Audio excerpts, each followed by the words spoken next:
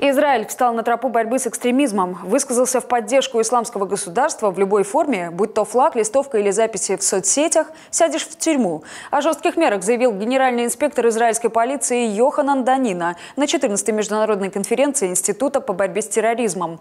Данина подчеркнул, что боевикам исламского государства пока не удалось проникнуть в Израиль. Однако, цитирую, проблема заключается не в физическом присутствии боевиков исламского государства, а в том, что в эпоху интернета молодые люди попадают под влияние духа экстремизма, который распространяет группировка.